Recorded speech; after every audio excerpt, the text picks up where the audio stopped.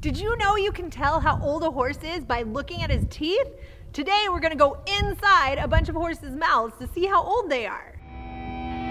Howdy, and welcome to the Bar SZ Ranch, where you will experience our journey of running a family business, caring for animals, and doing life together. Subscribe now and be inspired here at the Bar SZ. What you doing? Oh, I'm eating lunch. Can I join you? Absolutely.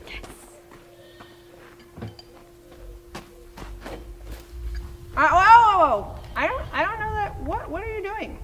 I'm eating my lunch. You're eating your lunch. I, I mean, I know we're trying out this like eat more vegetables and and greens, Greens. types of thing, but um, you as a human, you were designed to eat things like salad, like soft salad and carrots. Your teeth are not designed to eat that. That is hay. That is hay for your horse. Oh. Today we're going to look at why horses' teeth are designed to eat things like hay and how you can tell how old your horse is by looking at its teeth.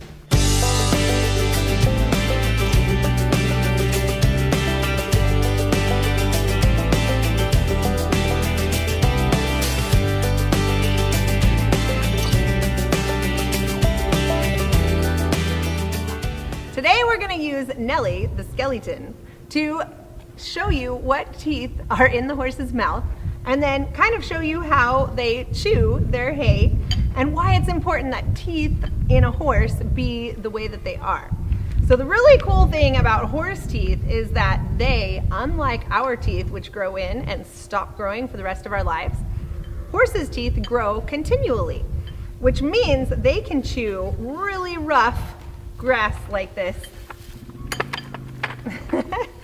but they actually chew it with a grinding motion that looks like this.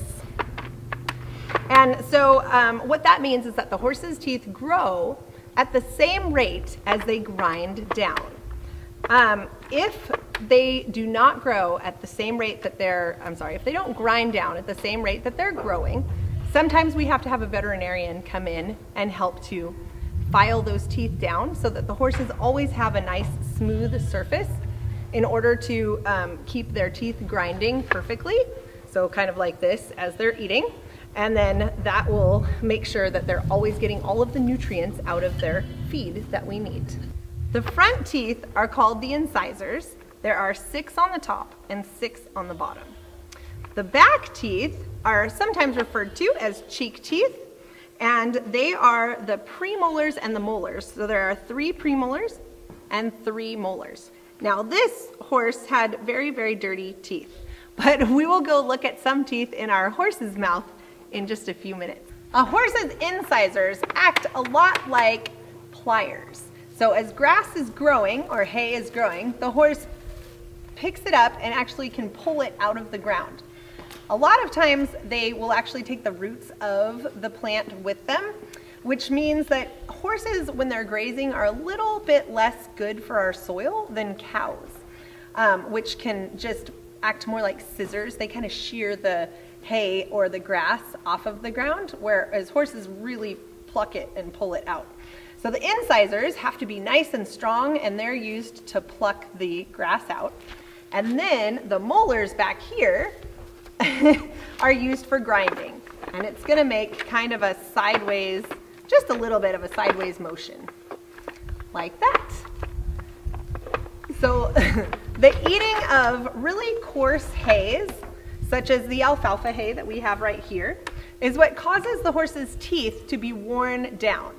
And we were saying that the teeth should wear at a pretty consistent rate. The amount that it wears down is the amount that grows in. Occasionally we have some problems where the teeth grow faster than they are filed down. And when that happens, we have a veterinarian or an equine dentist that works with a veterinarian come in and they will use tools like files and file down the portion of the teeth that are growing too fast to make them nice and smooth so that the horse doesn't um, have what's called a malocclusion or something where it can't chew and get the nutrients that it needs out of that hay. So horses have these incisors in the front and then they have these premolars and molars in the back. What is this section that's right here? Horses are born with this cool space in their mouth with where they don't have any teeth. This is called the bars of the mouth.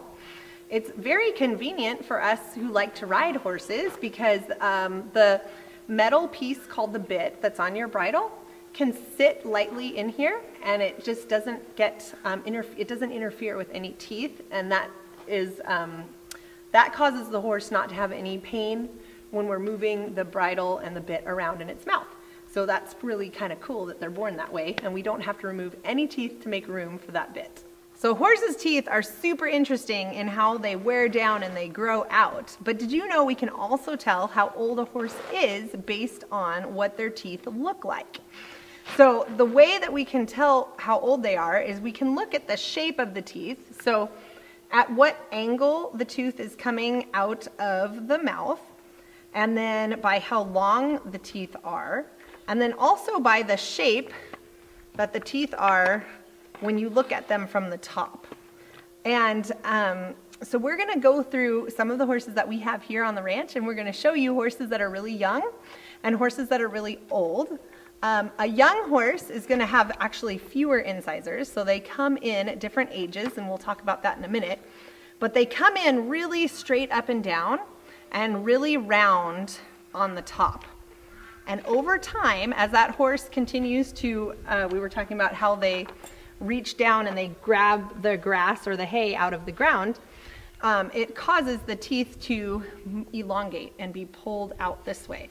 And that changes the shape of the tooth as it wears down on the top.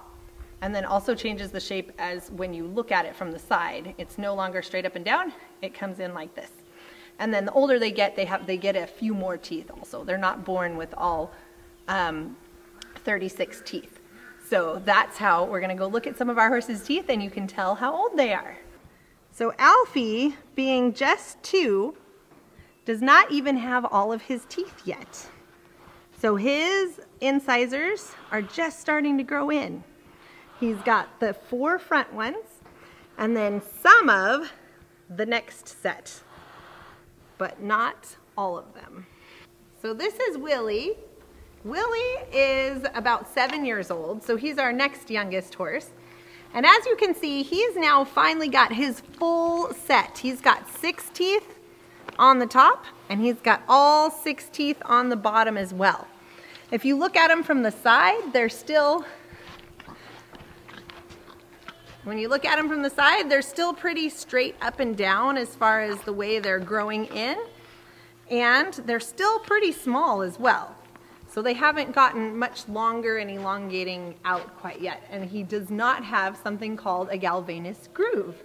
So we'll show you what the Galvayne's groove is. It's a little groove that comes in on horses about when they turn 10 years of age. And so we'll go find a horse that's a little bit older and has one of those coming in. This is Nemo. He's uh, over nine years old, so he's approaching 10. And he is just, just now starting I gotta wipe away his slobber. You slobbering. Are you slobbering? He is just now starting to get the Galvayne's groove, which is this little portion on the tooth. I am so sorry, he's very slobbery. and notice that his teeth are just, just starting to, instead of come in straight up and down, they're starting to move, to push out just a little bit. So we can tell that he's getting a little bit older. So Dylan's 15, so his Galvayne's groove should be well defined and about halfway down the tooth. He also has a couple other weird things going on in his mouth. You'll notice he's actually missing quite a few of his top teeth.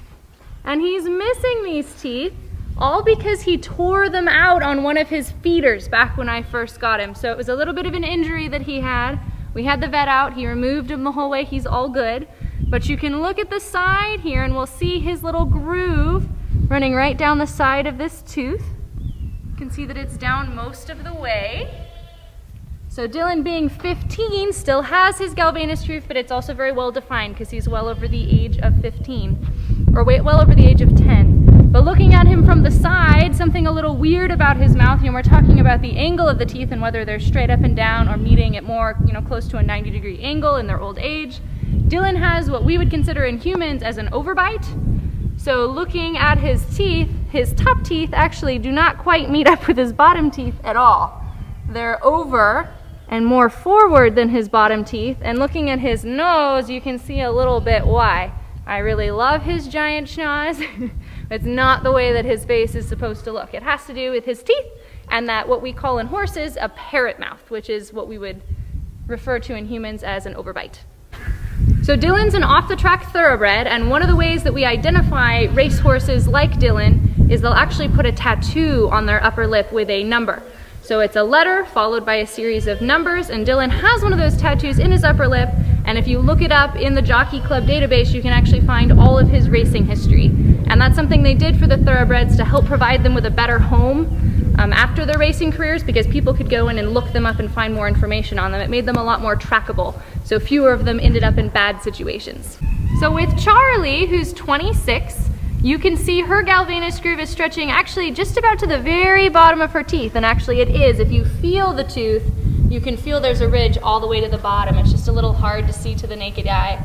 And the Galvayne's groove in horses doesn't serve a purpose, and it's not caused by something that the horses are doing. It's actually just a certain portion of their tooth that as it grows down and is filed down, it appears throughout, you know, a certain range of ages. So let's say they've got, you know, a tooth that's about this long because like Michelle was saying, they wear down their tooth throughout their entire life. So they have a really, really long tooth.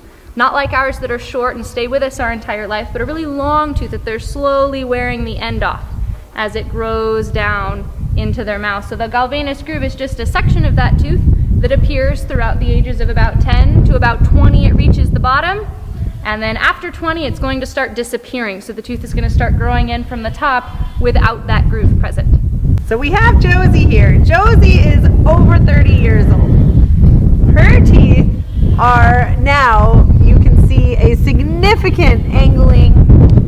They're definitely showing lot longer. Look at this bottom tooth. See how long that is? So that's what a horse. The Galvayne's groove is gone. Oh, it's a little bit down there, but it's going away. It's not anywhere up here. And um, she's definitely what they look like when they get a lot older. Thanks for joining us today. I hope you learned a little bit about how you can look at a horse's teeth and see what they, what age they are. It's really important to be able to tell how old your horse is um, because if you ever want to go and buy one or um, if somebody tells you a horse is a certain age, you want to make sure you can verify that, you know, within a couple years. And um, so we hope you learned how to do that and that you had some fun with us. If you enjoy this video, we'd love to hear from you. Like and subscribe and leave a comment about what you might like to see in future videos. We'll see ya back on the ranch.